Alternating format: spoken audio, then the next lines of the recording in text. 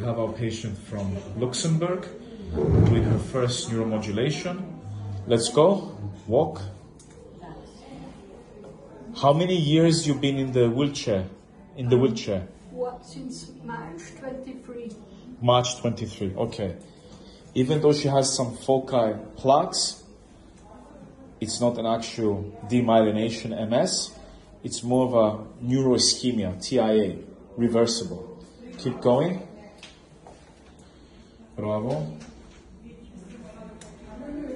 Keep going. Bravo.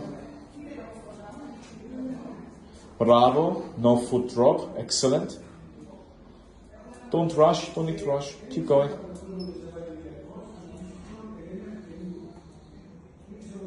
Excellent. Keep going. So, move it forward. Bring that leg forward now. The left one. No, no. The left one.